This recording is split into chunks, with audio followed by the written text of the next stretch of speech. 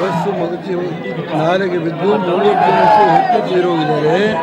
ಆ ಸ್ಥಳದಲ್ಲಿ ಆ ಬಾಡಿಗಳನ್ನೆಲ್ಲ ಹೊರಗೆ ಅವರು ಮನೆಯವರಿಗೆಲ್ಲ ಪರಿಹಾರ ಕೊಡ್ತಕ್ಕಂಥದ್ದು. ಮುಂದೆ ಈ ರೀತಿ ಆಗದ ರೀತಿ ತಡೆಗೋಡೆ ಕಟ್ಟೋದು ಮತ್ತೊಂದು ಎಲ್ಲ ಕ್ರಮ ತೆಗೆದುಕೊಳ್ಳೋದು ಆ ಸ್ಥಳದಲ್ಲೇ ಇದ್ದಾರೆ. ಈ ಕಾರ್ಯಕ್ರಮಕ್ಕೆ ಬರಲಿಕ್ಕೆ ಆಗೋದಿಲ್ಲ ಅಂತ ಹೇಳಿದ್ದಾರೆ. ಇಲ್ಲಿಯ ಮುಖಂಡಗಳಿಗೆಲ್ಲ ಹೇಳಿ ಮುಂದಾಕ್ಲಿಕ್ಕೆ ಸಾಧ್ಯವರೆಗೂ ನೋಡಿ ಅಂತ ಹೇಳಿದ್ದಾರೆ. ಆದರೆ ಎಲ್ಲರ ಜನ ಇಷ್ಟು ತುಂಬಿದೆ. ತುಂಬ ಜನ ಇದ್ದಾರೆ. ಮಾಡೋಕ್ಕಲ್ಲ ಇನಾಗ್ರೇಟ್ ಮಾಡಿದ್ದೀವಿ. ಸ್ವಾಮಿಗಳ ಕೈಲೇ ಮಾಡಿಸಿದ್ವಿ ನಾನಲ್ಲ. ಅಲ್ಲಿ ಹೋಗಿ ಸಭೆ ಮಾತಾಡ್ತೀವಿ.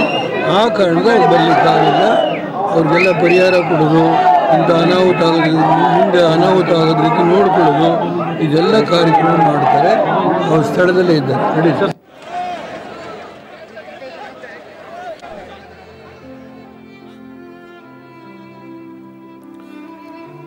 ಎಸ್, ಎಲ್ಲರ ಕಣ್ಣಲ್ಲೂ ನೀರು ತರಿಸುವಂಥ ದುಃಖ ಭರಿತ ಸನ್ನಿವೇಶವನ್ನು ನಾವು ಗಮನಿಸ್ತಾ ಇದ್ದೀವಿ. ಇದಕ್ಕೂ ಮೊದಲು ಕೂಡ ಏನೋ ಮಾಜಿ ಪ್ರಧಾನಿಗಳಾದಂಥ ಎಚ್ ಡಿ ದೇವೇಗೌಡರು ಟ್ವೀಟ್ ಮಾಡೋದ್ರ ಮೂಲಕ ತೀವ್ರ ದುಃಖವನ್ನು ವ್ಯಕ್ತಪಡಿಸಿದ್ರು. ಜೊತೆಗೆ ಮೃತಪಟ್ಟಂಥ ಕುಟುಂಬಗಳಿಗೆ ಕುಟುಂಬಗಳಿಗೆ ಅವರು ಸಾಂತ್ವನವನ್ನು ಹೇಳಿದರು.